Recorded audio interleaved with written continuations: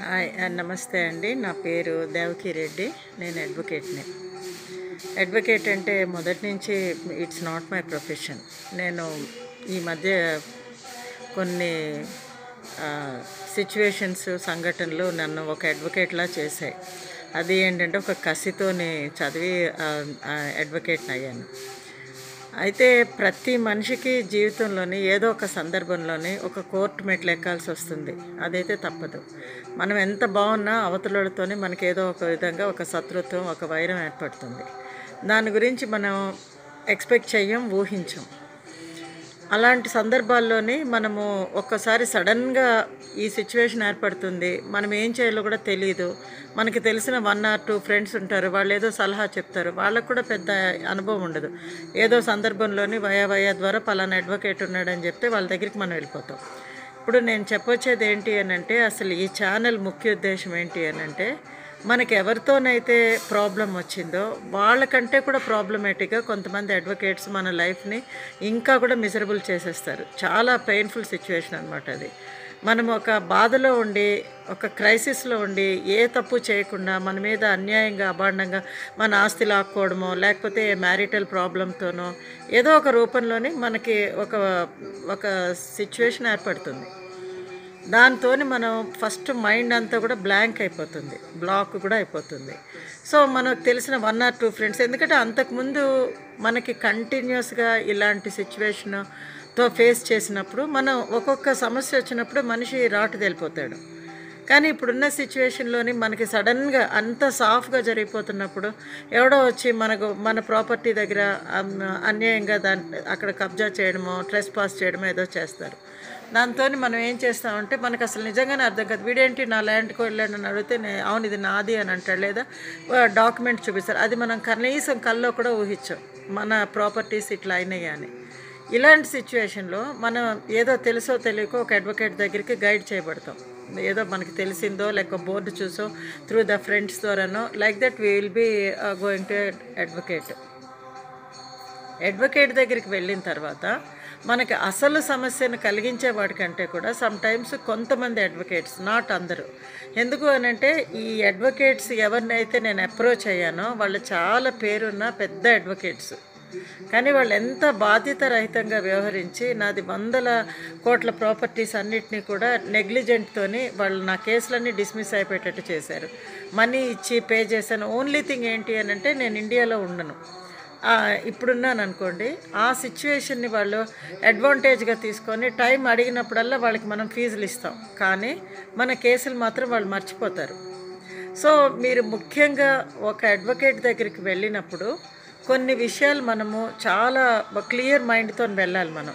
Advocate అనగానే over నైట్లో నాకు ఏదో మ్యాజిక్ జరిగిపోదు మన కేసు ఆ రోజుతో సెటిల్ అయిపోదు. అంటిల్ అన్లెస్ అదర్వైజ్ అది outside the court settlement అయితే అవి కూడా నాలుగైదు సిట్టింగ్లు అది చేయాల్సింది ఉంటుంది.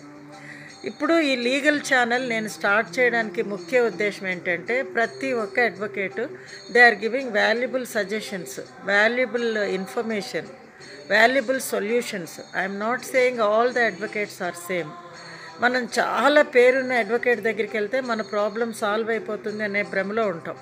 వాళ్ళు ఎంత ఫీజు అడిగినా సరే మనం ఇప్పుడు ఎందుకంటే పిండి కొద్దీ రొట్టి. అతని ఎక్స్పీరియన్స్ని బట్టి మనము ఆ ఫీజు డిమాండ్ చేస్తారు ఏమో మన కేసు సాల్వ్ అయిపోతుంది కదా. మన ప్రాపర్టీ ఒక రెండు వందల రెండు కోట్లో మూడు కోట్లో వాల్యూ ఆర్ వర్త్ ఉంటే ఆయన అడిగింది ఒక లక్షే కదా రెండు లక్షలే కదా అనుకొని మనం అన్కండిషనల్గా ఒప్పేసుకుంటాం. ఒప్పేసిన తర్వాత కన్సల్టెన్సీ ఫీజు రేపు ఒక యాభై వేలు పట్టరండి అంటాడు. అంటే వాళ్ళ వాళ్ళ అడ్వకేట్ యొక్క సీనియారిటీని బట్టి కావచ్చు అతనికి మార్కెట్లో ఉన్న పేరు అవ్వచ్చు వాట్ ఎవర్ ఇట్ ఈజ్. ఆ రెండు లక్షలు లక్షలో లక్షలో తీసుకెళ్ళిన తర్వాత ఆయన ఇంకో రెండు సార్లు చాలా స్వీట్గా మాట్లాడతారు. అడిగినప్పుడల్లా ఎందుకంటే మనము ప్రాబ్లంలో ఉన్నాం కాబట్టి మన ప్రాబ్లంతోని మనము విచక్షణ కోల్పోతాం ఫస్ట్. ఏ టైంలో అంటే ఆ టైంకి వాళ్ళకి ఫోన్లు చేసేస్తూ ఉంటాం. ఏంటి అని అంటే మనము సార్ ఏమైంది? నా కేసు ఇదైందా? ఫైల్ చేశారా? ఏమైంది? అవుతుందా? లేదని ఇట్లా ఏవేవో డౌట్లు వచ్చేస్తూ ఉంటాయి. బికాజ్ నేను ఆ విక్టిమ్ని కాబట్టి నేను అది ఫేస్ చేశాను కాబట్టి అసలు ఎంత దారుణంగా కొంతమంది అడ్వకేట్స్ మా లైఫ్తో ఆడుకున్నారంటే ఇంకా ఒక ఫుట్బాల్ రగ్బీ బాల్ వీళ్ళ దగ్గరికి వెళ్ళండి వాళ్ళ దగ్గరికి వెళ్ళండి డబ్ మన కేసులు తీసేసుకొని కూడా మనీ పూర్తిగా ఒక నాలుగైదు లక్షలు అంటే టెన్ ల్యాక్స్ వరకు తీసుకొని కూడా తర్వాత ఇంకా మన గురించి పట్టించుకోరు వాళ్ళు. ఫోన్లు చేస్తే ఫోన్లు ఎత్తారు. వాళ్ళు ఎలా ఉంటారో వాళ్ళ అసిస్టెంట్స్ని కూడా అలాగే ట్రైన్ చేస్తారు వాళ్ళ జూనియర్స్ని. వాళ్ళు కూడా ఫోన్లు ఎత్తారు. బేసిక్ థింగ్ ఏంటి అంటే ఒక కమ్యూనికేషన్. అట్లీస్ట్ ఒక ఆఫీస్ టైంలో కోర్ట్ అంటే ఒక అడ్వకేట్ టెన్ ఓ క్లాక్ కోర్టుకి వెళ్ళి ఒక ఫైవ్ ఓ క్లాక్ వరకు కోర్టులో ఉంటాడు. తర్వాత ఒక సిక్స్ సెవెన్ ఓ క్లాక్ వరకు ఆయన రెడీ అయిపోయి మళ్ళీ ఆఫీస్లో కూర్చుంటాడు. ఆ టైంలో మనం కాల్ చేసి కూడా ప్రతి దానికి ఇప్పుడు మనము ఈ కరోనా టైంలో వాళ్ళ దగ్గరికి ట్రావెల్ చేసి వెళ్ళే సిచ్యువేషన్ కూడా ఉండదు. ఆ సిచ్యువేషన్లోని వాళ్ళు ఫోన్ కూడా ఎత్తరు. రింగ్ చేసి చేసి అది వాయిస్ మెయిల్కి వెళ్ళిపోతుంది తప్ప there won't be any answer or solution. అది ఎంత డిస్పరేషన్. వాళ్ళ దగ్గరికి వెళ్తే కూడా బయట నాలుగు గంటలు కూర్చోబెడతారు. మనల్ని అవాయిడ్ చేయడం అనమాట సో ఇవన్నీ చూసిన తర్వాత మనకున్న ప్రాబ్లం కంటే కూడా మనం ఒక అడ్వకేట్ దగ్గరికి వెళ్ళి అప్రోచ్ అయ్యి మన ప్రాబ్లంకి ఒక సొల్యూషన్ దొరుకుతుంది అనుకున్న సిచ్యువేషన్లో వీళ్ళు ఇంకొక కొత్త ప్రాబ్లం తయారు మన దగ్గర ఉన్న డబ్బులు అయిపోతాయి. ఆ కేసు ఎక్కడికి వెళ్ళదు. అక్కడే ఆగిపోయి ఉంటుంది. కనీసం డే టు డే యాక్టివిటీస్ కూడా దాంట్లో మనకేం చెప్పరనమాట ఇలాంటివి జరగకుండా ఇంకో నాలాగా కొంతమంది ఇట్లా డబ్బులు పోగొట్టుకొని కేసు పోగొట్టుకొని అసలు కే కోర్టులో ఏమవుతుందో మనకి తెలియదు మనం కోర్టులో ఎందుకంటే ఇప్పుడు మీరు రంగారెడ్డి డిస్ట్రిక్ట్ కోర్ట్స్కి వెళ్ళి ఒకసారి ఒక విజిటర్గా అన్న వెళ్ళండి. చాలా స్మాల్ ఉంటే కనీసం అడ్వకేట్కి కూడా కూర్చోవడానికి ప్రాపర్ చైర్స్ ఉండవు. ఆ చైర్స్ గురించి కూడా వాళ్ళు అక్కడ కొట్లాడుకుంటారు కొన్ని కొన్ని కోర్ట్స్లోని. అన్ని కోర్టులు స్పేషియస్గా ఉండవు. నేను ట్రైన్ అయిన కోర్టుల గురించి నేను చెప్తున్నాను. ఈ సిచ్యువేషన్లో మనము ఆ- అడ్వకేట్ కోర్టు లోపలికి వెళ్తాడు. ఏం జరుగుతుందో మనకి తెలియదు ఒక పది నిమిషాల తర్వాత డేట్ ఇచ్చారని చెప్తాడు. ఆ డేటు ఎలా వెళ్ళిపోతుందంటే కొన్ని సంవత్సరాల వరకు డేట్లే ఎందుకంటే ఇతను మన కేసు ప్రిపేర్ అవ్వడం. అడ్జాయిన్మెంట్స్ డేట్స్ అడ్జాయిన్మెంట్స్ డేట్స్తోనమాట మనం కేసు వేసిన వాళ్ళు. మనమే డేట్ తీసుకుంటూ పోతూ ఉంటే ఇంకా అక్కడ శాంక్టిటీ లేదు కదా మన కేసుకి సో దీస్ థింగ్స్ వీళ్ళు జరుగుతూ ఉంటాయి అన్నమాట ఇలాగ ఒక అడ్వకేట్కి దగ్గరికి వెళ్ళే ముందు మీ సమస్య ఏంటి? మీరు ఏ సమస్య అది? నేను I'm talking about the civil cases civil issues criminal case అంటే పోలీస్ ఆల్రెడీగా ఇన్వ ఇన్వాల్వ్ అవుతారు కాబట్టి మనకి ఇప్పుడు దాని గురించి కాదు. నేను నెక్స్ట్ వీడియోలో నేను చెప్తాను.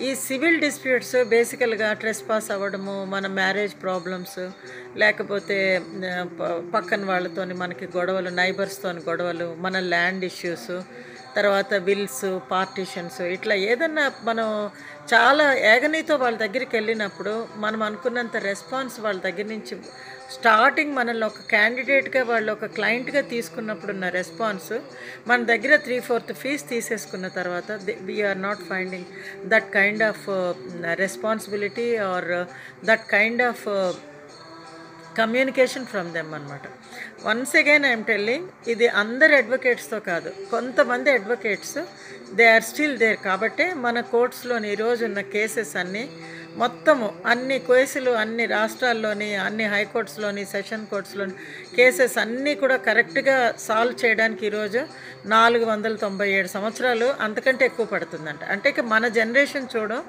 మళ్ళీ ఇంకొక రెండు మూడు నాలుగు వందల ఏళ్ళకు కూడా ఈ కేసులు తెగవు. ఈ లేజినెస్కి కారణం ఏంటి అంటే వాళ్ళు ప్రిపేర్ అవ్వరు.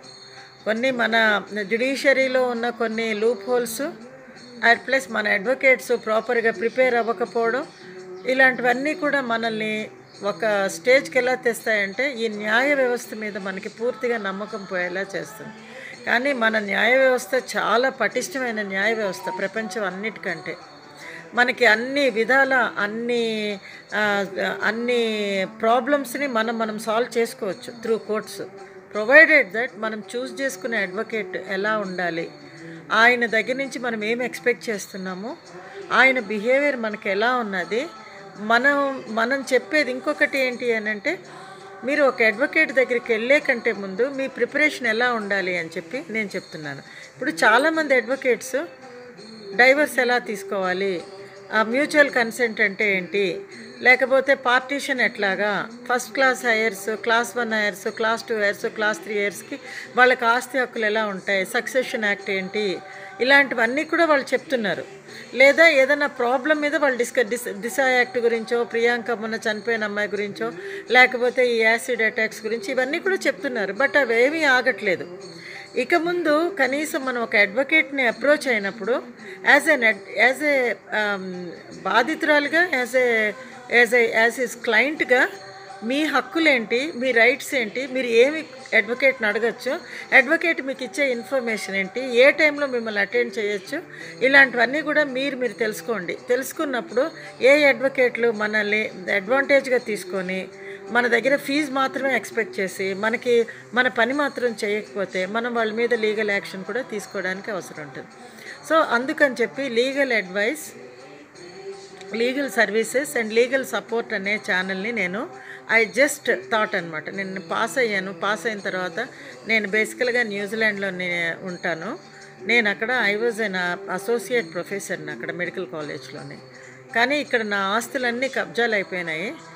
ఎందుకు ఏంటి అని చెప్పి కేసు వేస్తే మనం నమ్మిన పెద్ద పెద్ద అడ్వకేట్స్ కూడా కొన్ని లక్షలు తీసేసుకొని ఆల్మోస్ట్ నియర్లీ వన్ క్రోర్ అలా స్పెండ్ చేసిన తర్వాత కూడా my cases been dismissed only because they have not attended my cases వాళ్ళ పర్సనల్ బిజీస్లో ఉండి వాళ్ళ జూనియర్స్కి ఇచ్చి జూనియర్స్ అటెండ్ అవ్వక petitioner is absent so petitioners absent వల్ల మీ case been dismissed restoration petition వేసుకోమని మనకి ఆర్డర్స్ వస్తాయన్నమాట. ఇలాంటి సిచ్యువేషన్ ఇంకెవరూ ఫేస్ చేయకుండా ఎందుకంటే ఈరోజు ఒక వంద గజాల భూమి మీద మనకి డిస్ప్యూట్ వస్తే కూడా అది కొన్ని కొన్ని లక్షల వర్త్ అదే జీవనాధారం అవుతుంది. అదే ఒకరికి షెల్టర్ అవుతుంది.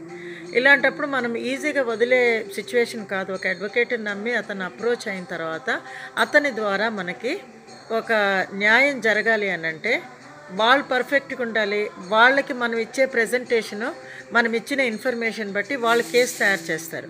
మనం కూడా మన వైపు నుంచి మన డ్యూటీ మనం ప్రాపర్గా చేస్తే మనం అడ్వకేట్ని క్వశ్చన్ చేయడానికి ఉంటుంది. అడ్వకేట్కి కరెక్ట్గా మనం ఇన్ఫర్మేషన్ ఇస్తే అడ్వకేట్ కూడా మన కేసుని ప్రెజ ప్రాపర్గా కోర్టులో ప్రజెంట్ చేస్తారు. ఇవన్నీ కూడా ఒక ఇంటర్లింక్డ్ ప్రాబ్లమ్స్ కేవలం మన అడ్వకేట్కి ప్రాబ్లం ఇచ్చేసాం కాబట్టి ఈ విల్ టేక్ కేర్ అని అనేది మీరు ఎప్పుడు కూడా బ్లైండ్గా నిద్రపోవద్దు మీ కేసుని పెట్టేసి. సో ప్లీజ్ నా నా ఛానల్ని మీరు చూడండి. మీరు సబ్స్క్రైబ్ చేసినా చేయకపోయినా బట్ మీకు తెలియవలసిన అవేర్నెస్ కోసం నేను ఈ ఛానల్ని స్టార్ట్ చేశాను. Kindly please accept my suggestions and advises మీకు ఎప్పుడు ఏదైనా ఈ లీగల్ లిటిగేషన్స్లో మీరు ఫేస్ చేసినప్పుడు డిస్ప్యూట్స్ వచ్చినప్పుడు నా కాంటాక్ట్ నెంబర్ కూడా ఉంటుంది దీంట్లోని. You can call me and ask me for your suggestion. మీకు ఏదైనా హెల్ప్ కావాలంటే please ask me. Thank you.